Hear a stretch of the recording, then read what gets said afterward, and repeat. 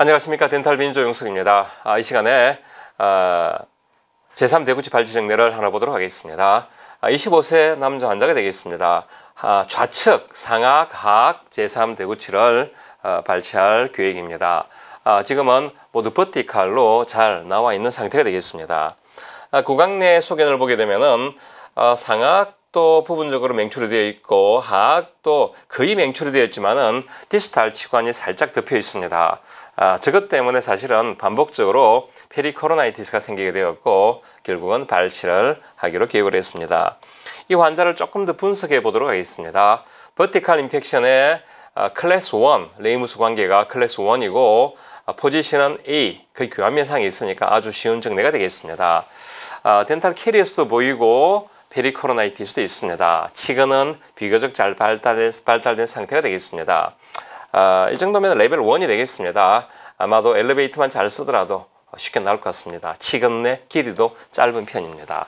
flap은 열 필요가 없고 어, 엘리베이터를 사용해서 어, 뽑을 생각입니다. 하지만 어, 만약에 엘리베이터로 충분히 럭시에이션이 되지 않는다면 forcep을 쓸 수도 있기 때문에 이런 경우에 forcep을 미리 대기시켜 두는 게 좋다고 생각합니다. 자, 한번 영상을 보시겠습니다.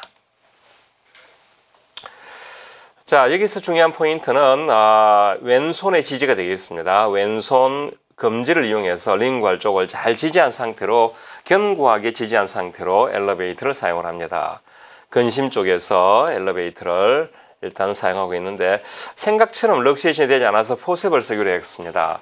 자, 지금도 중요한 포인트가 있는데 환자의 11시 방향에서 환자의 턱을 왼손으로 잘 잡고 어, 로테이션 시켜서 발치가 된 모습이 되겠습니다. 상악은 사실 웬만하면 쉽게 나옵니다. 근심 쪽에 엘리베이터만 잘 집어넣더라도 이와 같이 손쉽게 발치가 되는 것을 볼 수가 있습니다.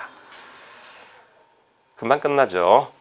그리고 그세 장을 물려서 끝을 내면 되겠습니다. 굳이 봉합을 할 필요는 없겠죠. 자 이렇게 간단하게 수술이 되었습니다.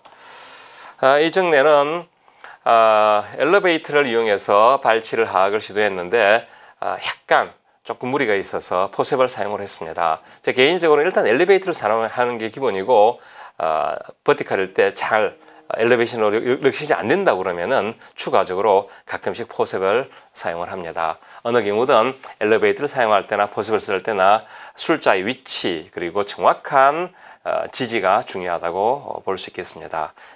이 케이스는 1분 10초 만에 간단하게 발치가 되었습니다.